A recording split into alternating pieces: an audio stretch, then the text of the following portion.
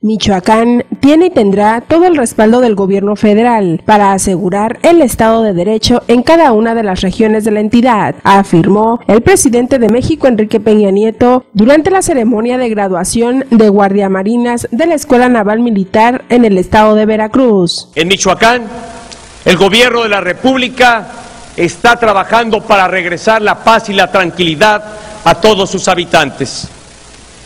Michoacán tiene y tendrá todo el respaldo del Gobierno de la República para asegurar el Estado de Derecho en cada una de las regiones de esa entidad.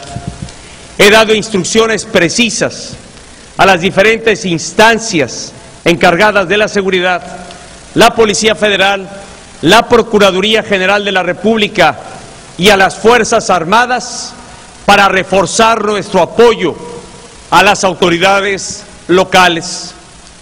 Hoy nuestra sociedad puede estar segura de que en la Marina y en el Ejército Mexicano, en la Policía Federal y la Procuraduría General de la República, tiene a instituciones firmes, dispuestas a velar por la vida, la seguridad y el patrimonio de cada uno de los mexicanos. Raúl Sanelli para Noticieros Nuestra Visión.